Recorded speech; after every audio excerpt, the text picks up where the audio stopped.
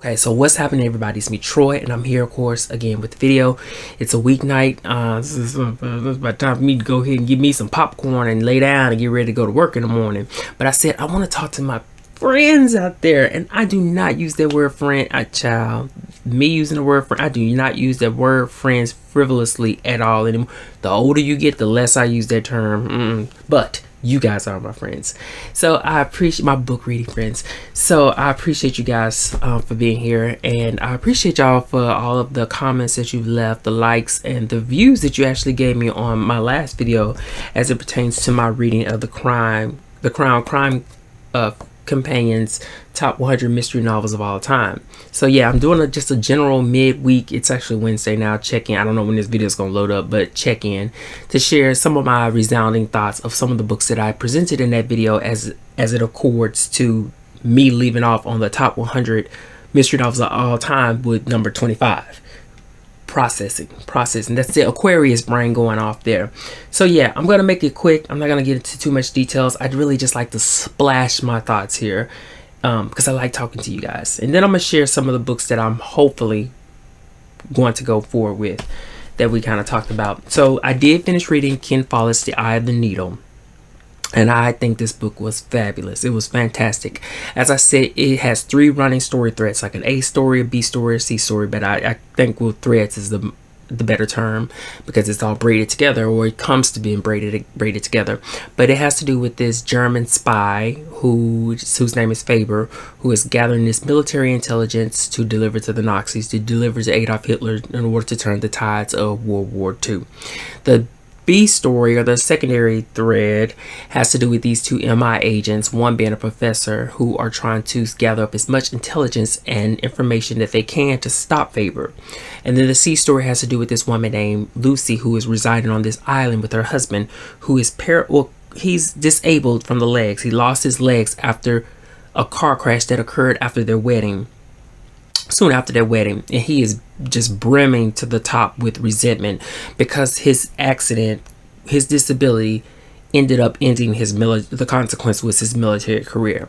So they're not in the best place but eventually all these stories converge and that is what makes up the eye of the needle. Um, the question or the running hook is who is going to stop faber first is it going to be the MI agents or Lucy? And of course, when you kind of throw all this little variable in as regards to Lucy, who is so removed from this world of spies and war and espionage, she's going to be the top tender, right? Um, so yeah, to keep my thoughts, my final resigning thoughts quick and brisk, this was a fantastic book. It was great. It was gripping. I could not put it down. Um, one of the things that I loved so much is well in general when I read a book is that unassuming character that comes out with a lot of resourcefulness and strength by the end. That most certainly is the character of Lucy. Now I will not say um like what is the direction she actually took or the author took in addressing um her confrontation or connection with Faber. But I will say one of the things that I did leave away with the book with, and this might be telling, is that it read the third and final few chapters read like a freaking Stephen King book. It was creepy, it was dark, and it was scary, okay? And it was good. I almost want to say just a little too much over the top, just a t- just right there. I want to say it was uh, over the top, but it was it was good. It read like a Stephen King book. So I do like if you want a spy thriller, The Eye of the Needle is a gripping one to get to. You're gonna be holding your breath, going, how far is he gonna go? I know somebody's gonna stop Faber. Who's gonna get to him first, or just basically how all, how all these pieces in this puzzle are going to shape up. So, The Eye of the Needle, it was a winner. I've never read anything else by Ken Follett. So, The Pillars of the Earth is, you know, maybe, maybe, maybe one day. I don't know. So after that, going in the precise order, I tried to read uh, Rumpole of the Bailey by John Mortimer, and so far I've only made it to page 20. Um, I did a little bit more research about this, and it has to do it's, it's british and it has to do with this i think he's a judge or something a magistrate i don't know. I didn't do enough good research. I was looking at just look like little clips on youtube of the tv show version and i don't know there's like this bit of overlaying or overlapping of the books and the shows. I'm thoroughly confused but at the end of the day i was not exactly being warming up to this particular book. Um the Rumpole stories, I think that they are a excessively poignantly particularly reading experience geared toward a specific taste okay? And unfortunately my palate is too under sophisticated or unsophisticated enough to digest this book as of right now. Um it may just uh, maybe my, part of me is like maybe it's just me you know the british humor aspect. I can't connect with it but i still am going to try to continue forward. And one of the things i love about making videos on the internet and uploading them talking about books is I always welcome people who have read these books to please please share me a good word about them you know sometimes a lot of times I'm missing something. So what is it that helped you read this book if you read it and then uh, subsequently enjoyed it? Or what is it that you may not have liked and did not end up reading this book or finishing it like myself is currently experiencing right now? So the Rumpole may just not be the, it might be like a lemon that I just cannot take. Perhaps we'll see. So after I read Rumble, I did finally hit my stride, okay, baby? And I read The Nine Tailors by Dorothy L. Sayers. Now, this book, oh, this is one of her Peter, it's not Wimsey, Wimsey books. And it has to do at the beginning of this book, Wimsey, Wimsey. I still want to put that L in there, my country tongue. He's on his way to, I think it's Fall Birch or something like that. I don't know. Don't get, don't, we're not going to get started. I'm from America. I'm from the, the deep South. I don't know all this stuff. I just enjoy painting these pictures in my head as I read along with the author's interpretation of these words and places or using words. But he's on his way somewhere and he ends up getting caught up in a snow uh, circumstance in which his tar- car is, is basically decommissioned out on the road. So he's gathered upon this small village in which they, you know, it's very much ran by a church. A number of churches actually dotting the land. But the subject matter of this is about bales, and each bale has a different name.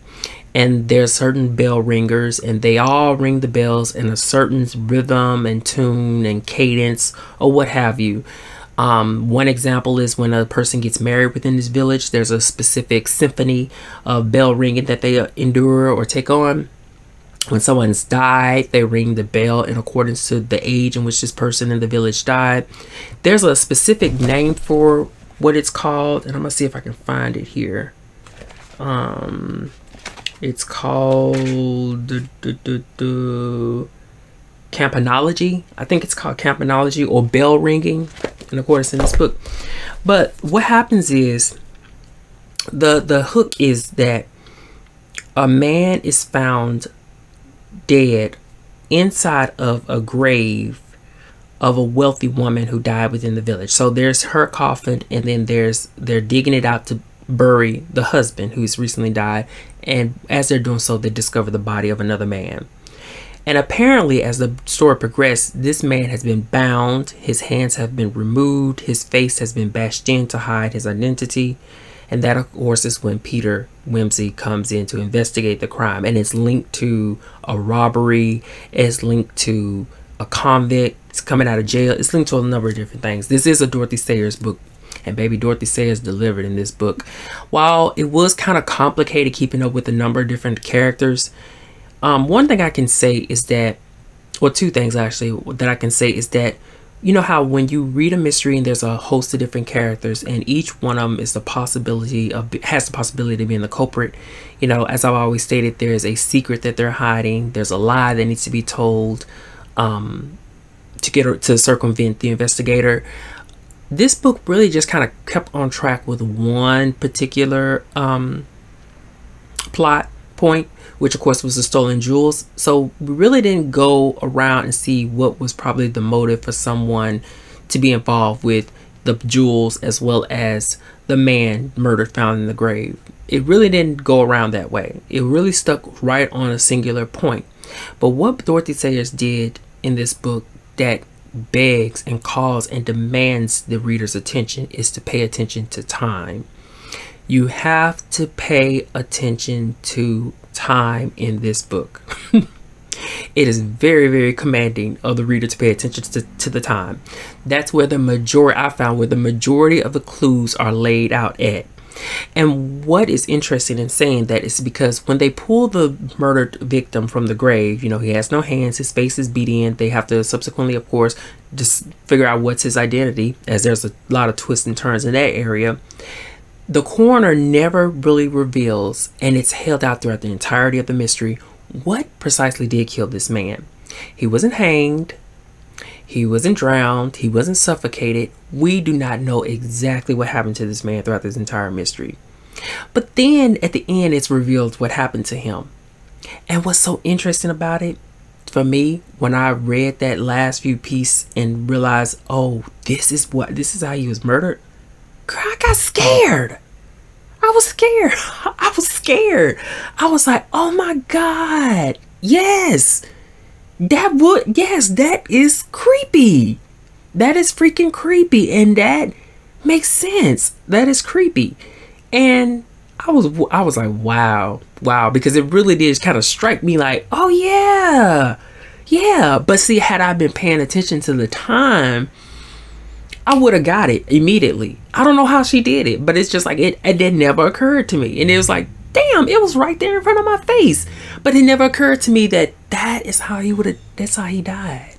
And I was like, yeah. Because one of the main, one of the characters who I can't, wait, he's, I guess you could say as the investigative investigation goes on, he kind of sees, you know, the body before the destruction of the face. You know, he, this person mentions how contorted and twisted the face was as if they were facing something so horrible that it was it was just send them to this like black void of sheer terror before they die and that locked them to this individual's face. So when you take that onto the revealance of what happened to this man it's like i i would child it's good it's good it's good. So dorothy l. Sayers the nine tailors was a great book. It did take a little bit of concentration to read, not just simple, similar, not just simply, excuse me, to keeping up with the uh, time and the time of the book. But you know, there's a lot of talks about bales. You have to kind of get through that. Some of the stuff I actually uh, inscription based kind of things I kind of just skipped, like bales and their religious components and whatnot. But um, yeah, it was still a great book. Dorothy L. Sayers be selling. She be selling, and she really, really grips you in when you read her books.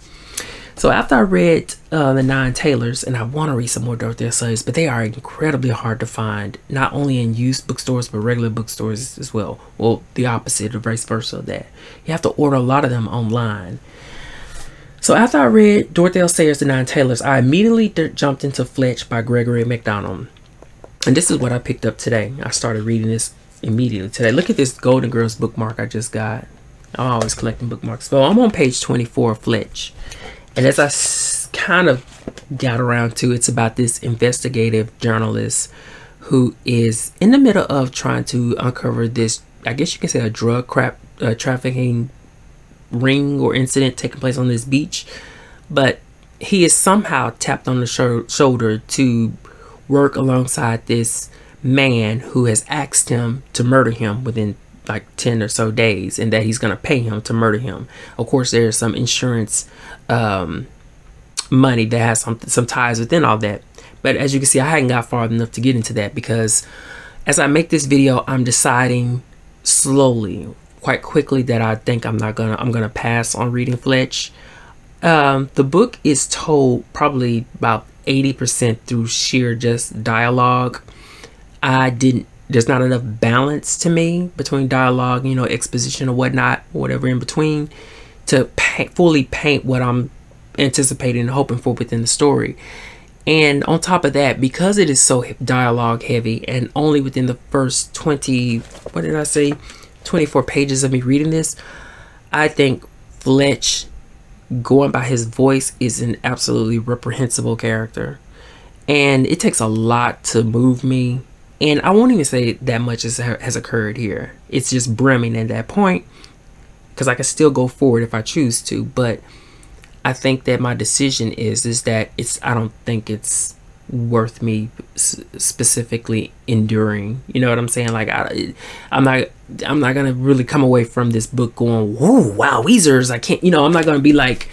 I doubt it. I doubt that the same Peter Wimsley's voice, Fletch's. I, I doubt it. I doubt it. Now the plot itself may sell me to its end, uh, like sail me like a ship, but Fletch's voice is so not pleasing to me. So I might put these two on the wait list.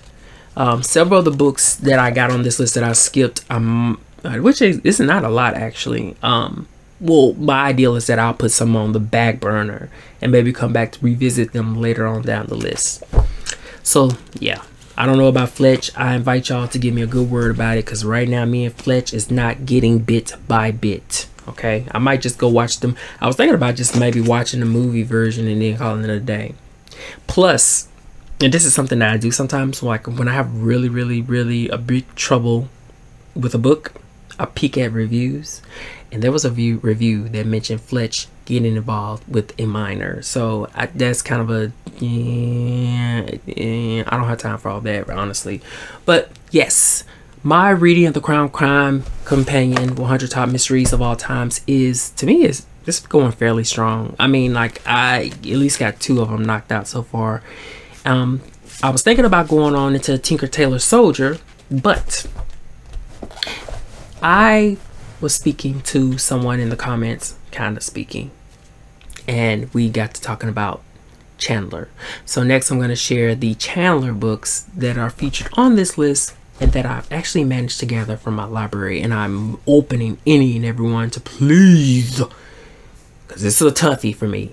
Share with me what you thought about each of these books so that you can give me some energy to pick them up and read them. So I won't skip Chandler. So we'll see you in the next video, right?